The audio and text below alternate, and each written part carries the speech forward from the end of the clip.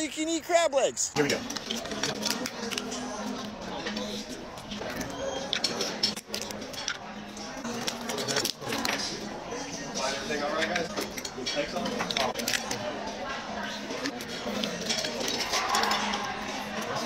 The easiest crab legs I've ever had to eat.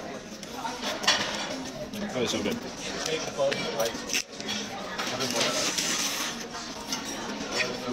I cracked all my crab legs.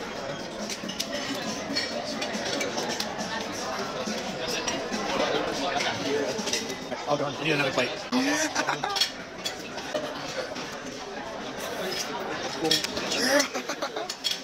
if they ever get stuck, you just give them a good blow. You gotta eat this part of the crab. The meat out. I'm absolutely stuffed. I don't quite know how many bushels of crab legs I ate, but I ate all the crab legs that were put in front of me. Those crab legs were fire.